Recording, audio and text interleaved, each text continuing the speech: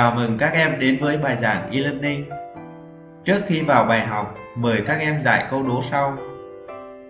Sinh ra từ rượu lên men, vì tuy chua chát mẹ khen em nhiều, giúp cho mẹ được bao điều, khử tanh, gia vị, cằn đều sạch ngay. Bằng sự hiểu biết của mình, các em hãy suy nghĩ xem đó là chất gì.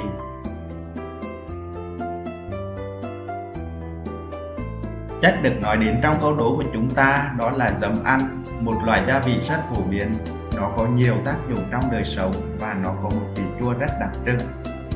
Hàng ngày, chúng ta sử dụng rất nhiều loại thực phẩm cũng như hoa quả có vị chua. Sở dĩ những loại thực phẩm hay hoa quả trên có vị chua là do chứa các axit hữu cơ. Vậy, axit hữu cơ là gì? Những đặc điểm về cấu tạo, tính chất vật lý, tính chất hóa học cũng như điều chế và ứng dụng sẽ được các em tìm hiểu qua bài 45 Axit carboxylic.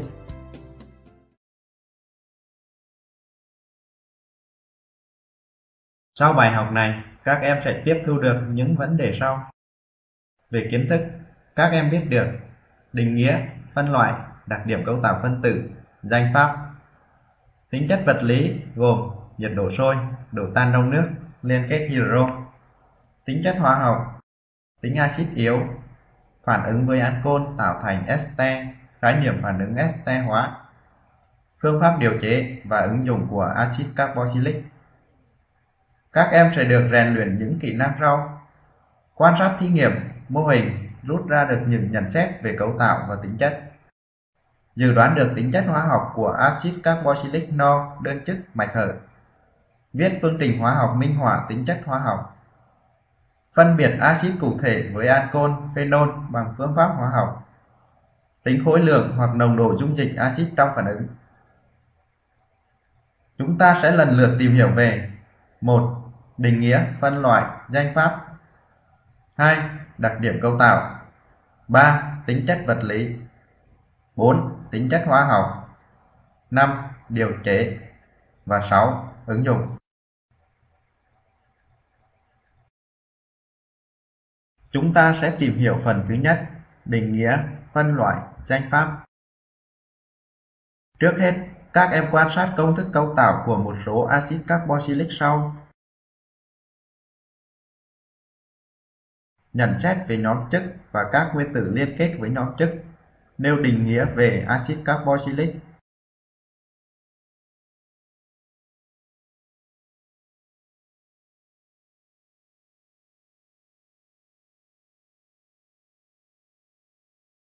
Axit carboxylic là những hợp chất hữu cơ mà phân tử có nhóm carboxyl COOH liên kết trực tiếp với nguyên tử carbon hoặc nguyên tử hydro.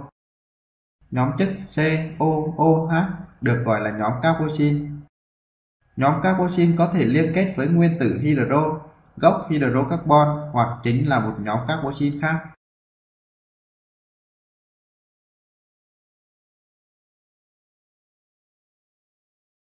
Từ các ví dụ trên và những căn cứ để phân loại các hợp chất hữu cơ như ancol, aldehyde, các em hãy nêu cách phân loại axit carboxylic.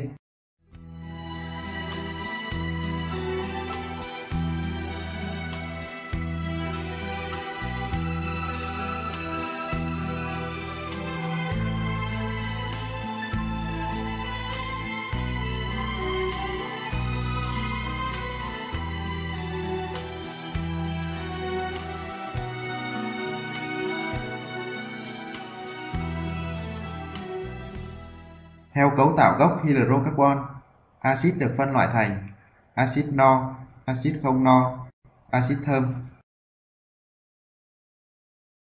Theo số lượng nhóm chức, axit được phân loại thành axit đơn chất có công thức tổng quát là RCOOH với R là gốc hydrocarbon hoặc nguyên tử H và axit đa chức có công thức tổng quát là RCOOH A với A là số nhóm chức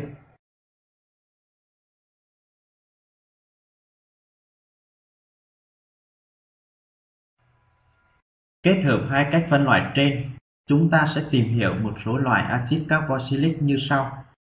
Thứ nhất, axit no đơn chức mạch hở.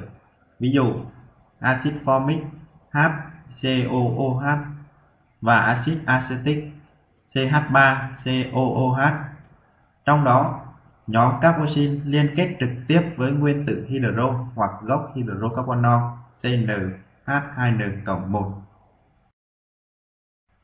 Từ đó, công thức chung của axit no đơn chức mạch hở là CnH2n1 COOH với n lớn hơn hoặc bằng 0 hoặc CmH2MO2 với m lớn hơn hoặc bằng 1. Các em viết phương trình hóa học của phản ứng đốt cháy axit carboxylic và nêu nhận xét về số mol carbon dioxide và số mol nước tạo thành.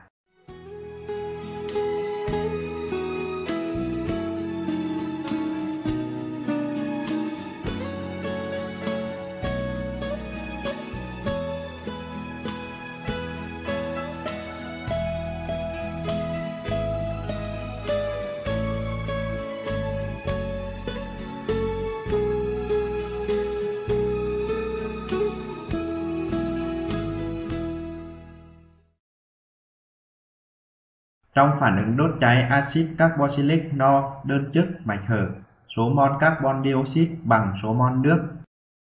Đây chính là dấu hiệu nhận ra chúng trong các bài toán đốt cháy axit. Thứ hai, axit không no đơn chức mạch hở, ví dụ axit acrylic. Những axit này có số nguyên tử carbon từ 3 trở lên. Thứ ba, axit thơm đơn chức, ví dụ axit benzoic. Thứ tư, axit đa chức, ví dụ axit oxalic.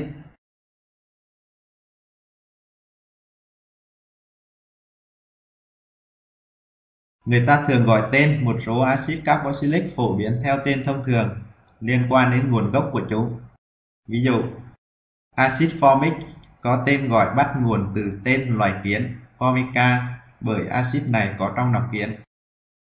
Axit acetic có tên gọi bắt nguồn từ nhóm ăn acetot. Các em bấm vào nút tư liệu ở phía bên phải để tìm hiểu thêm về nguồn gốc, tên gọi của một số axit carboxylic.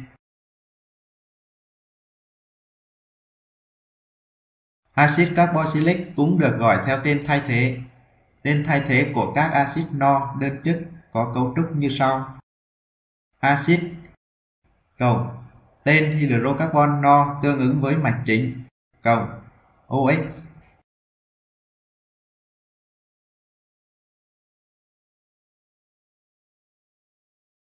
Các em thực hành đọc tên thay thế qua ví dụ sau. Gọi tên thay thế của axit sau.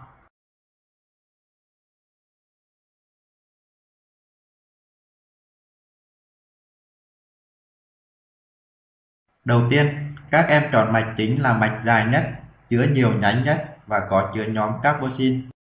Đánh số thứ tự carbon trên mạch chính bắt đầu từ carbon trên nhóm carboxyl. Sau đó, gọi tên axit carboxylic theo tên thay thế. Axit 4 methyl pentanoic. Các em hãy hoàn thành bài tập sau.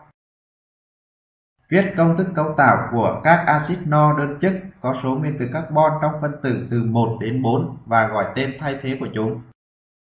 Gọi tên thay thế của một số axit carboxylic khác.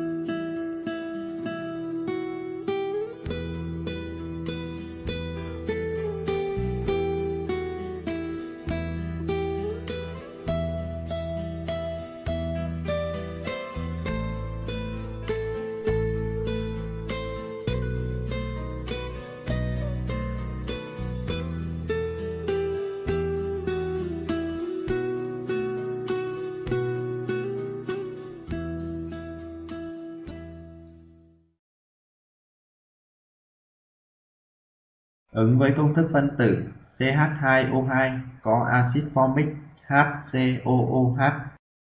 Ứng với công thức phân tử C2H4O2 có axit acetic CH3COOH. Ứng với công thức phân tử C3H6O2 có axit propionic CH3CH2COOH. Ứng với công thức phân tử C4H8O2 có hai đồng phân axit axit butyric CH3CH2CH2COOH và axit isobutyric CH3CH CH3COOH. Có hai axit khác khá quan trọng, mặc dù không phải là axit no đơn chức mạch hở, đó là axit acrylic CH2 nối đôi CH COOH và axit oxalic COH tất cả hai lần.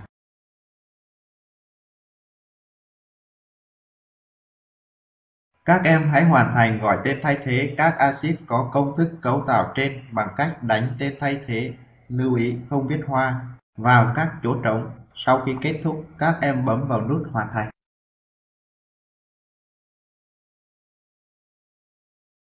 Các em đã hoàn thành xong bài tập. Hãy so sánh với đáp án.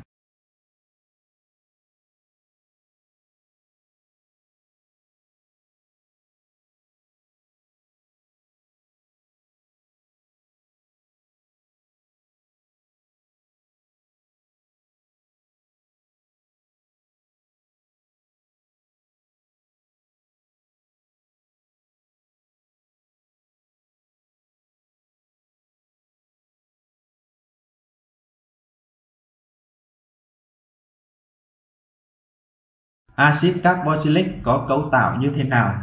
Mời các em tìm hiểu ở phần tiếp theo. Các em hãy quan sát mô hình đặc và rỗng của axit acetic, cấu tạo của nhóm carboxy.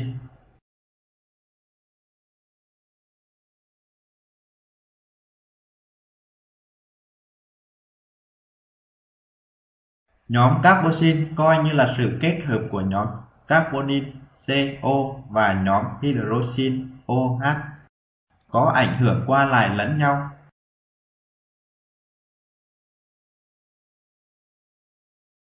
Điều này làm cho liên kết OH trong phân tử axit phân cực mảnh hơn so với liên kết OH trong ancol, nên nguyên tử H linh động hơn.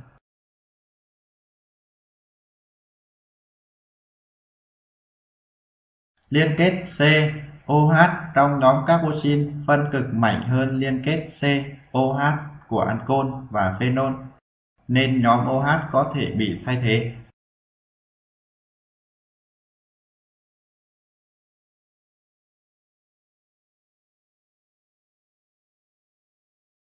Từ sự linh động của nguyên tử hydro trong nhóm chất, các em hãy sắp xếp các chất theo thứ tự tăng dần của tính axit. A. Axit carboxylic ancol phenol, B. Axit carboxylic, phenol ancol C. Ancol phenol, axit carboxylic và D. Phenol, axit carboxylic ancol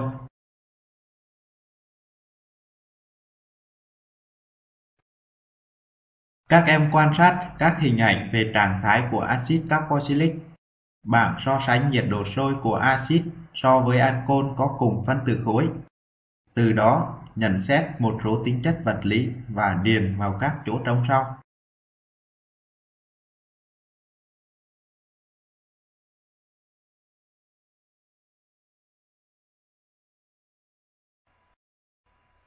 Các axit đều là chất lỏng hoặc chất rắn ở điều kiện thường. Nhiệt độ sôi của axit tăng theo chiều tăng của phân tử khối và cao hơn nhiệt độ sôi của các ancol có cùng phân tử khối. Nguyên nhân là do giữa các phân tử axit có liên kết hydro ở dạng polymer và dạng dimer, bền hơn so với các phân tử ancol. Các em hãy quan sát hai dạng liên kết hydro này.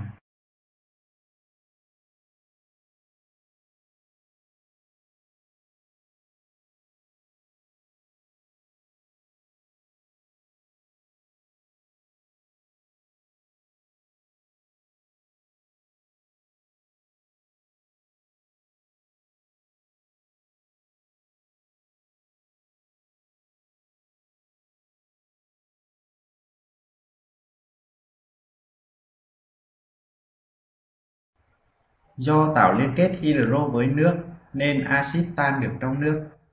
Độ tan giảm dần theo chiều tăng của phân tử khối.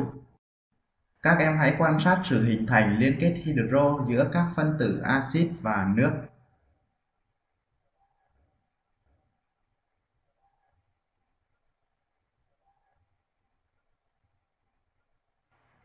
Mỗi axit có một vị chua riêng. Ví dụ, axit acetic có vị chua của giấm, axit citric có vị chua của chanh, axit malic có vị chua của táo, axit tartric có vị chua của nho.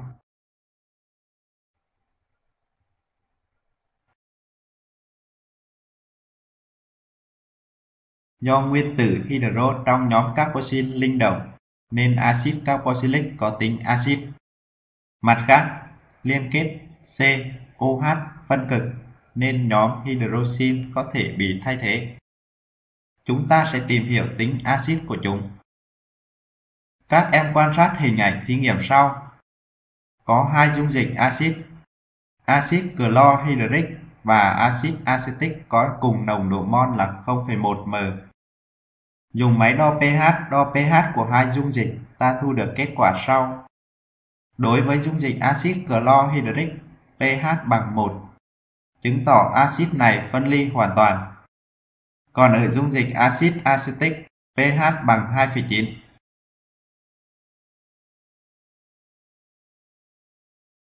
Sau khi quan sát hình, các em hoàn thành nội dung sau bằng cách chọn các cụm từ để điền vào chỗ trống. Sau khi điền xong, nhấn hoàn thành để biết kết quả.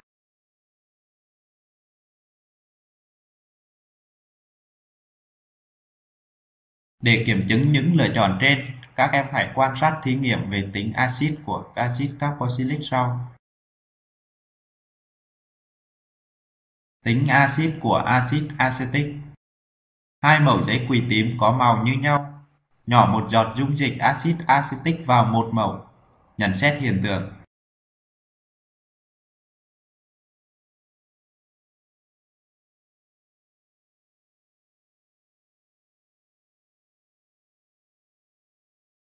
Cho vào ba ống nghiệm, ống thứ nhất một viên kém,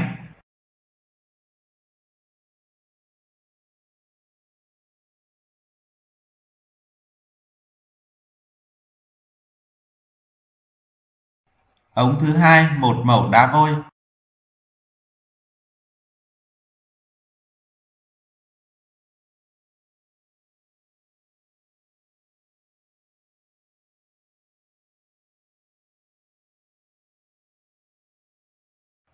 Ống thứ ba một ít bột đồng hai oxit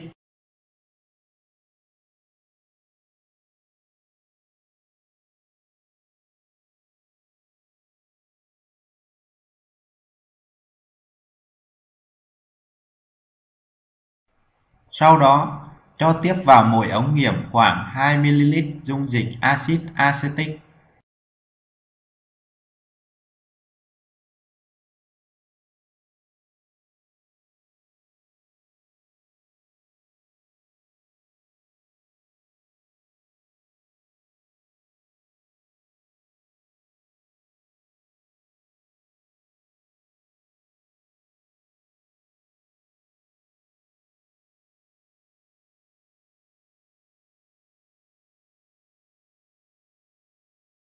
Đun ống thứ ba trên ngọn lửa đèn cồn.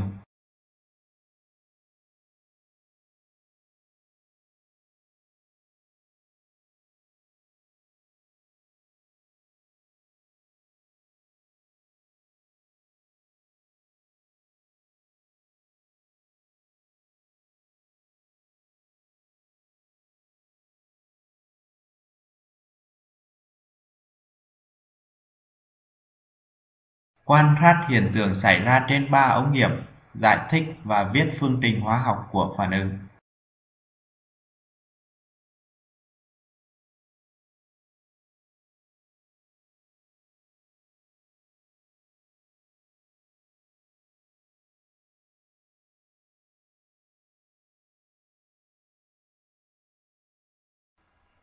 Tính axit của axit carboxylic Trong dung dịch axit carboxylic phân ly thuần nghịch Axit acetic phân ly một phần tạo ra ion acetat và H+.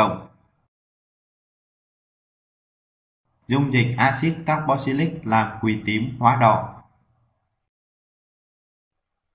Axit carboxylic có tính chất chung của một axit. Các em hãy hoàn thành các phương trình hóa học sau.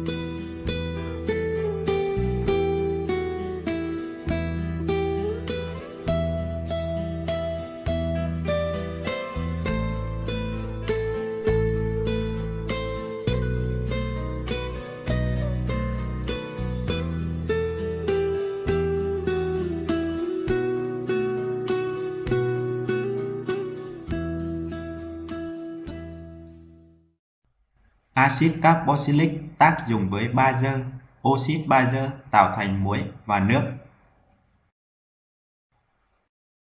Axit acetic tác dụng với natri hydroxit tạo thành natri acetat và nước. Axit acetic tác dụng với đồng 2 oxit tạo thành muối đồng 2 acetat có màu xanh và nước. Axit carboxylic tác dụng với muối của axit yếu hơn. Axit acetic tác dụng với canxi carbonat tạo thành muối canxi acetat, nước và giải phóng khí carbon dioxide. Axit carboxylic tác dụng với kim loại đứng trước hydro trong giải hoạt động hóa học tạo thành muối và giải phóng hydro. Axit acetic tác dụng với kẽm tạo thành muối kẽm acetat và giải phóng khí hydro.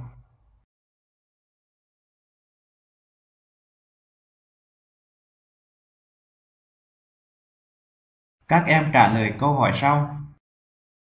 Tại sao khi bị ong hoặc kiến đốt, người ta thường bôi vôi vào vết cắn? A. Vôi có tính sát trùng. B. Nước vôi có thể ngăn chất độc trong nọc ong hoặc nọc kiến lan rộng. C. Nước vôi có tính bazơ nên có thể trung hòa axit trong nọc ong hoặc kiến, làm đỡ đau. Và D. Nước vôi có tác dụng chống viêm gây nên bởi vết cắn.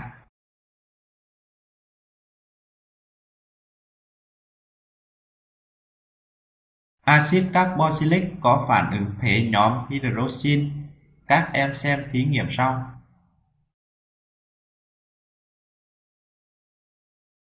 Ancol ethylic tác dụng với axit acetic.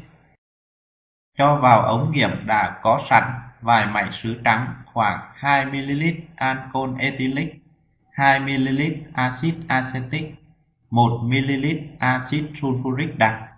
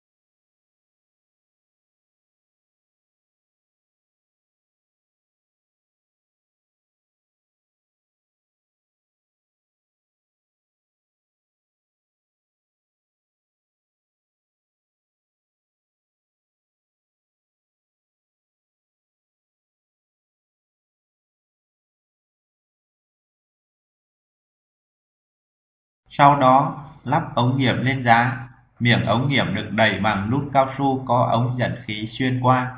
Đầu ra của ống dẫn khí đặt gần sát đáy của ống nghiệm khác, đặt trong cốc có chứa nước lạnh. Hơ đều ống nghiệm rồi đun tập trung tại vị trí có chứa hỗn hợp phản ứng.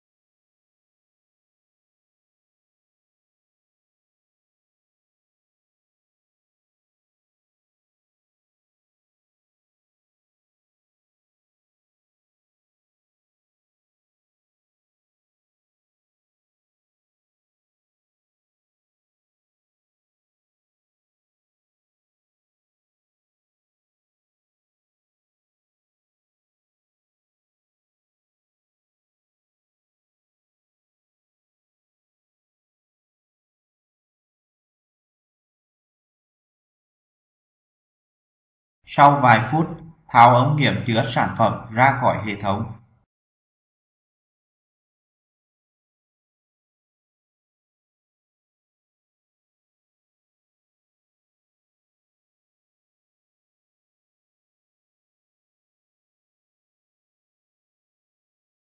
Thêm vào đó khoảng 2ml dung dịch muối ăn báo hòa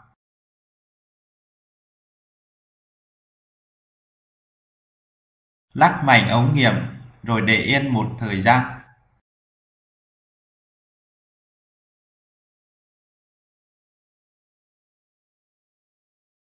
Quan sát hiện tượng và giải thích.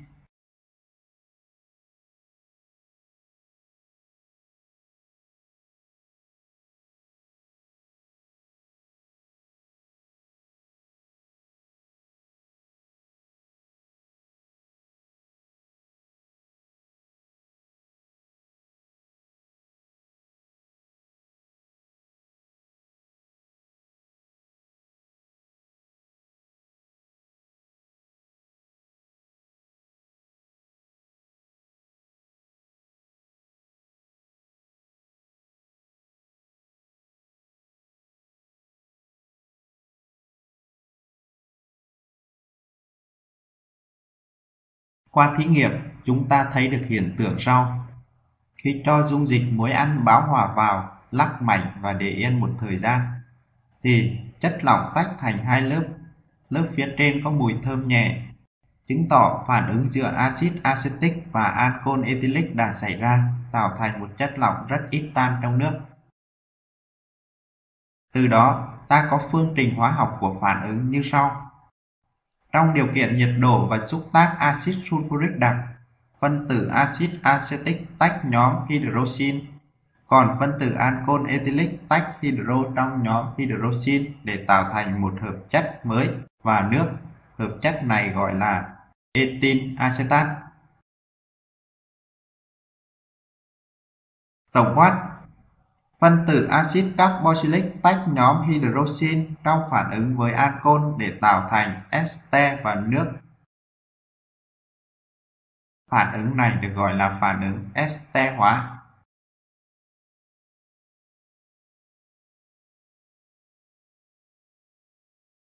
Từ hiện tượng thí nghiệm và phương trình của phản ứng este hóa, các em nêu đặc điểm của phản ứng này bằng cách điền vào chỗ trống.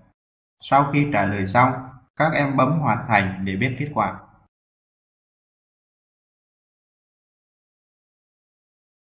Phản ứng este hóa là phản ứng thuần nghịch và cần axit sulfuric đặc làm xúc tác.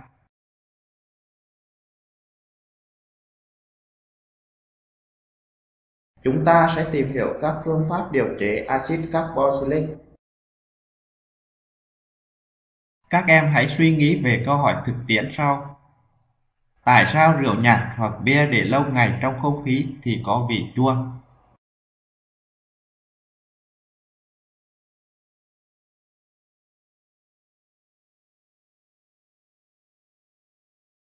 Để giải đáp cho câu hỏi này, chúng ta sẽ tìm hiểu phương pháp cổ truyền để sản xuất axit acetic dùng làm giấm ăn.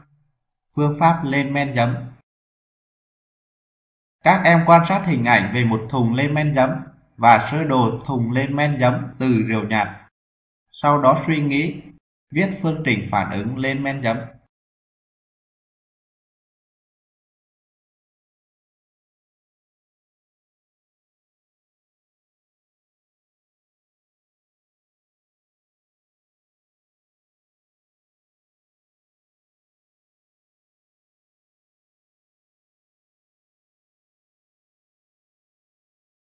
Rượu nhạt, có thành phần là ancol ethylic khi tiếp xúc với oxy không khí, với sự có mặt của men giấm, sẽ tạo thành axit acetic.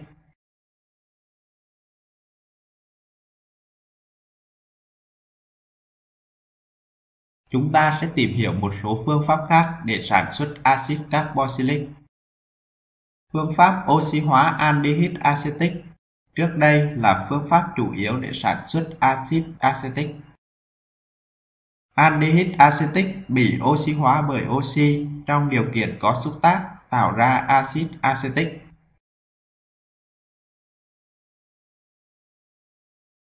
Tổng quát, aldehyde khác cũng bị oxy hóa bởi oxy tạo ra axit tương ứng.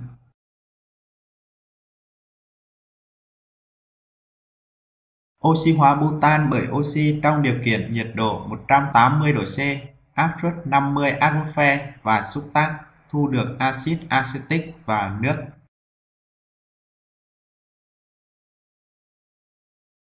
Oxy hóa không hoàn toàn các ancan có mạch carbon dài để tổng hợp các axit có phân tử khối lớn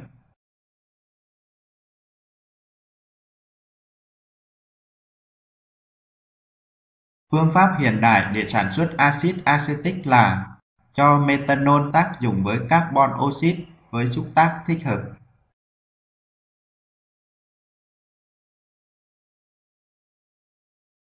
Các em hãy quan sát sơ đồ sau, kết hợp với kiến thức sách giáo khoa và liên hệ thực tế để nêu ứng dụng của axit hữu cơ.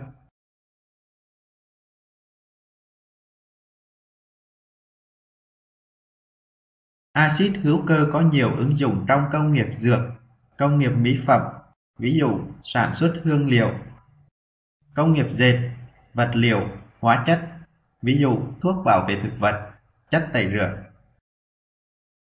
Các axit hữu cơ được ứng dụng trong các ngành thực phẩm, ví dụ sản xuất giấm, sữa chua, sử dụng làm các chất phụ gia, chất bảo quản.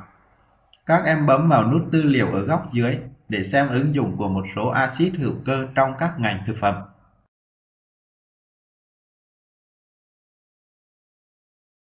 Chúng ta đã cùng nhau tìm hiểu về định nghĩa, cấu tạo, tính chất cũng như điều chế và ứng dụng của axit carboxylic. Sau đây là tóm tắt những nội dung chính của bài học.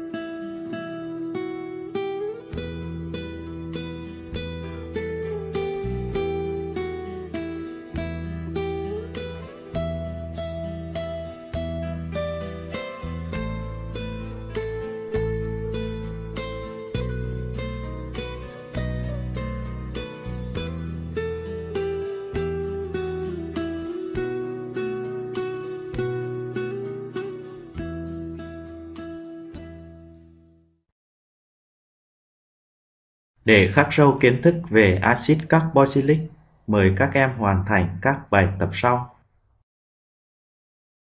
Bài tập 1 Chất hữu cơ A có công thức phân tử C3H6O2. Biết A tác dụng với natri hydrocarbonat giải phóng khí carbonic. Viết công thức cấu tạo và gọi tên thay thế của A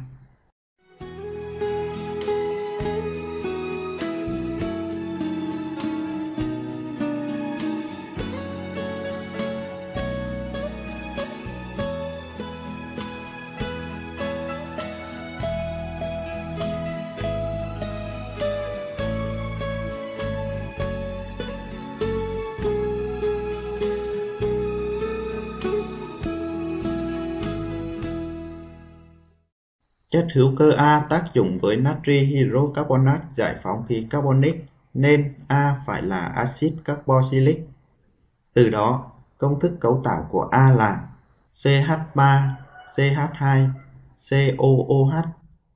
Đây là axit carboxylic no đơn chức mạch hở, có tên thay thế là axit propanoic.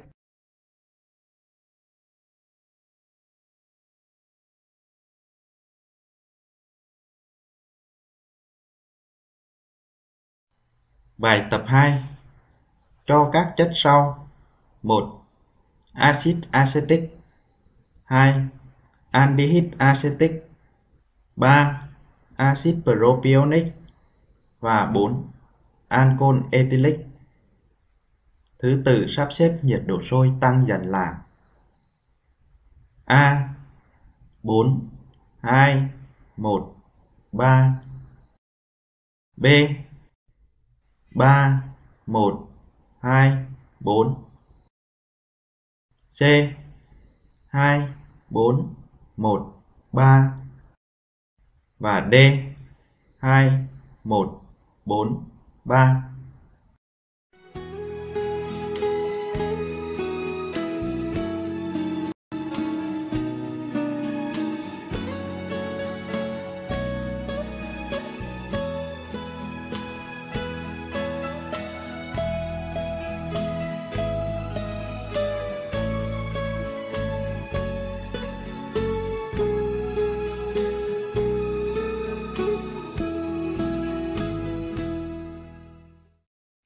Để hoàn thành bài tập này, các em căn cứ vào các ý sau.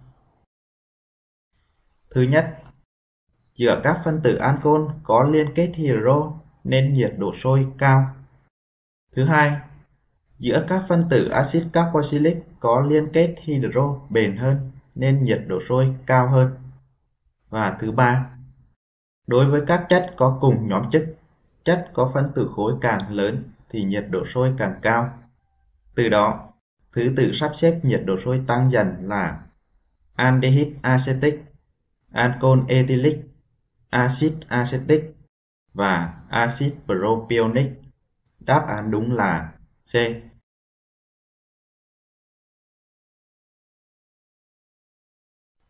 Bài tập 3 Để trung hòa 11,16 gam hỗn hợp hai axit đơn chức kế tiếp nhau trong giấy đồng đẳng cần dùng 200ml dung dịch natri hydroxit 1m. Công thức của hai axit là A. HCOOH và CH3COOH B. CH3COOH và C2H5COOH C.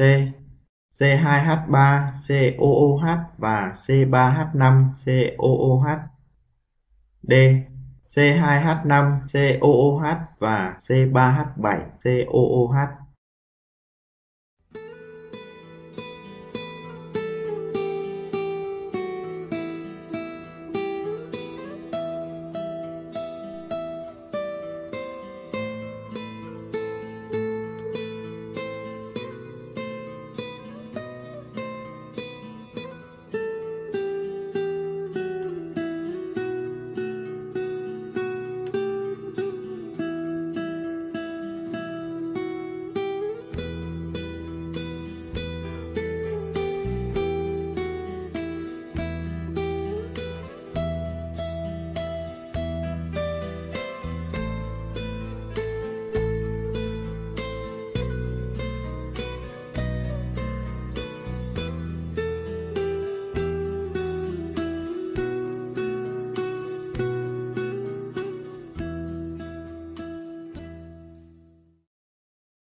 Đây là bài toán về tính axit của axit carboxylic. Do là hỗn hợp hai axit đơn chất nên chúng tác dụng với natri hydroxit theo tỷ lệ mol là 1 1. Số mol natri hydroxit bằng 0,2 mol. Gọi công thức chung của hai axit là RCOOH. Ta có phương trình hóa học RCOOH cộng NaOH tạo thành RCOONa cộng H2O. Theo phương trình, số mol axit bằng số mol natri hydroxit bằng 0,2 mol. Từ đó, khối lượng mol bằng 11,16 chia 0,2 bằng 55,8. Do vậy, gốc R có khối lượng mol bằng 55,8 trừ 45 bằng 10,8. Vậy, hai axit thỏa mãn là axit formic HCOOH và axit acetic CH3COOH. Đáp án đúng là A.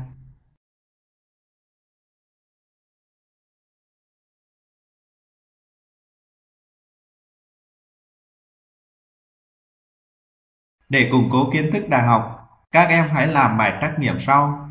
Sau khi trả lời, bấm hoàn thành để xem kết quả. Câu 1 Gọi tên thay thế của hợp chất sau. A. Axit 4 etin 4 metin, pentanoic. B. Axit 4 4 dimetin, hexanoic. C.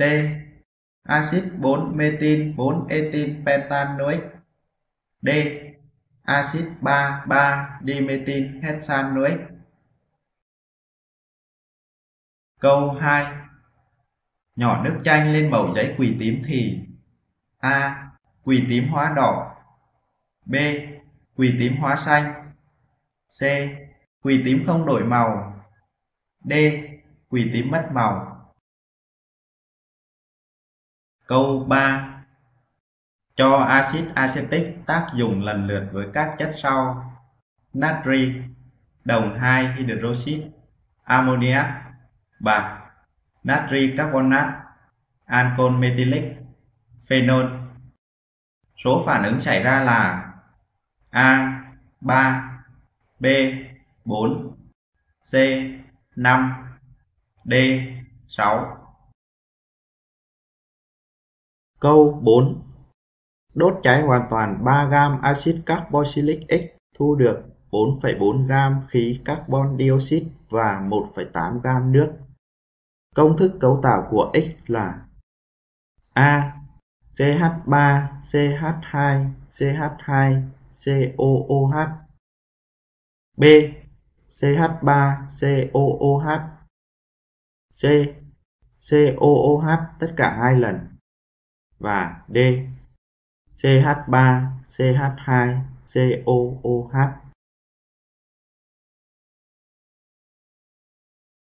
Câu 5 có thể điều chế trực tiếp axit acetic từ chất nào sau đây? 1. Ancol ethylic 2. Aldehyde acetic 3. Ethylene 4. Natri acetat 5. Natri ethylat 6. Butan A 2 3 4 5 B 1 2 5 6 C. 1 2 3 4 D. 1 2 4 6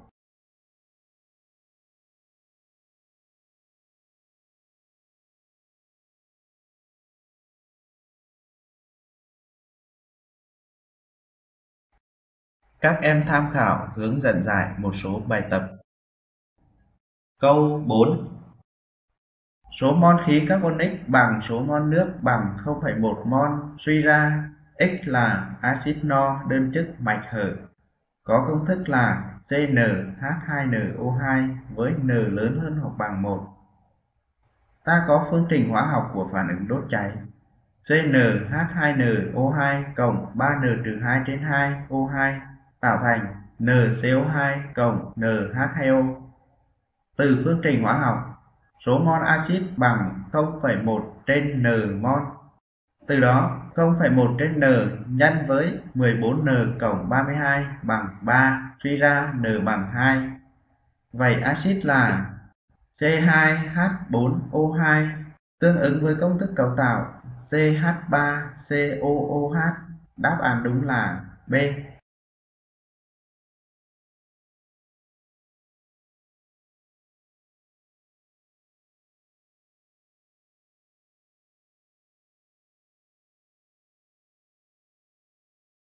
Bài học của chúng ta khép lại tại đây. Cảm ơn các em. Chúc các em học tập thật tốt.